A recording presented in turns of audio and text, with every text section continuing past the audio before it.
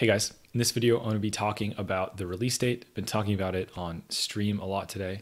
Uh, link in the description, twitch.tv slash zatar underscore wow. Anyway, moving past that, uh, I was a little bit disappointed in the uh, release date, and I think unfortunately it's going to have pretty negative ramifications for a lot of guilds because the 27th is a Thursday.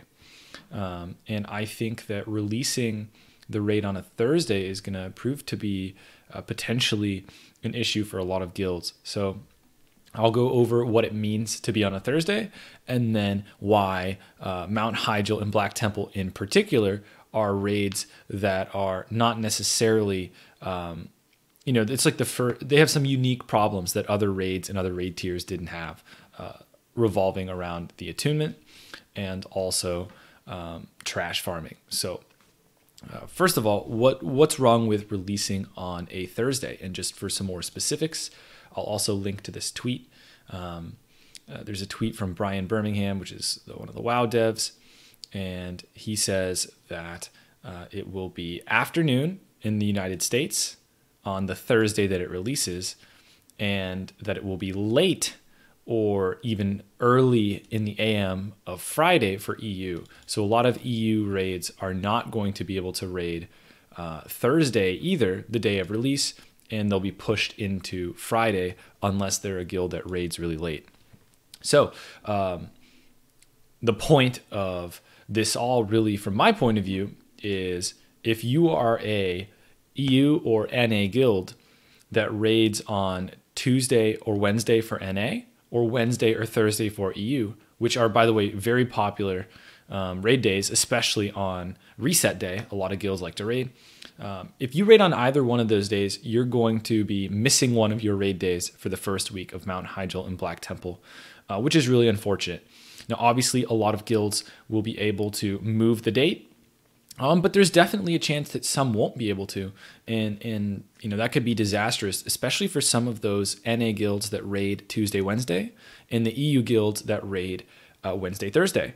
As both of their raid days, they will not be able to raid, and I think that uh, the reason that they decided to release the raid on Thursday is so that they can do a global release, uh, and they specifically want um, the Asian regions to have the game out on their reset. Notably, China resets on Thursday, so this would be a good date um, for for that specific purpose.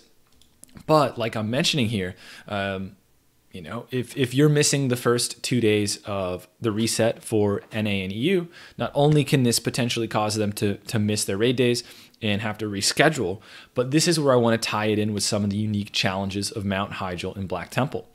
Uh, Black Temple is the only raid we've seen in Classic um, so far that you cannot be attuned to before the raid actually comes out. Uh, it's it's the only one that you can't be prepared in advance. And the reason for that is the final step of the Black Temple attune requires you to kill the first boss of Mount Hyjal. Now, why this is especially bad if um, guilds are moving around their days and maybe trying to work on and raid on backup days.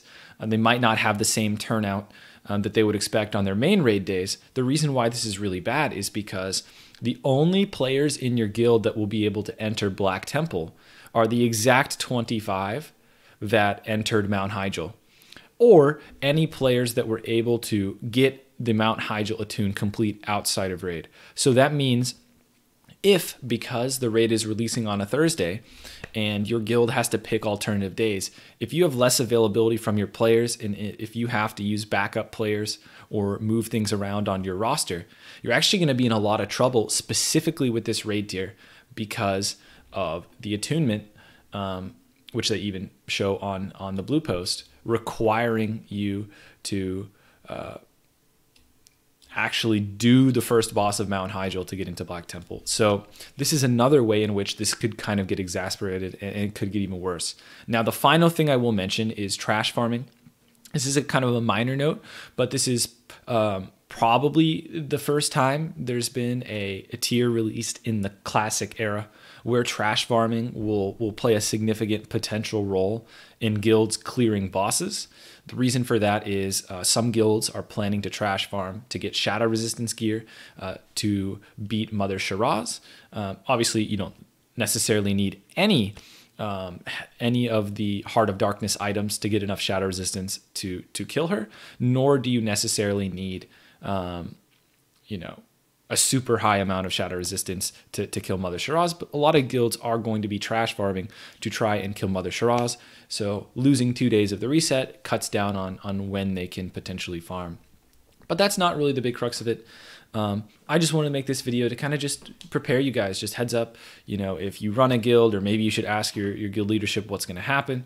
Uh, definitely could be tough for NA and EU guilds, um, you know, because of the Thursday release. And, and unfortunately, I think uh, that this is a mistake to release it on Thursday. I think that Blizzard should either release at the reset if they want the easy solution, just release the uh, the the patch uh, at different times for each of the regions, put it out at release, and that would allow you know none of the regions to lose any days, uh, and no guilds are going to be in really bad situations where they're missing one to two raid days.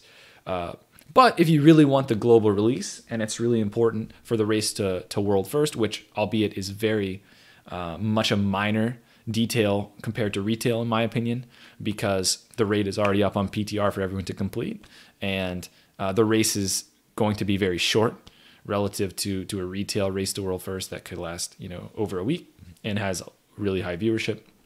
Uh, but regardless, uh, if you really did care about the race to world first and want all of the regions to unlock at the same time, I think what Blizzard should have done is release the raid globally on Tuesday and uh, just on EU and uh, Asian realms make it such that the reset does not uh, affect Mount Hyjal and Black Temple for the first week. Now, obviously, that would require potentially change, um, but that would be, I think, if you really care about the global release, that'd be the way to do it. I think it's much better to give um, Asian regions an extra two days to potentially um, do week one. Uh, Mount Hyjal and Black Temple rather than cutting down on two days for NA and EU. But again, I'll leave the links to this stuff. Uh, very excited to do Mount Hyjal and Black Temple. If you guys want to check out um, my guild's progression, feel free to put a follow on my Twitch in the description below. Uh, thanks for watching, guys, and I'll see you in the next video.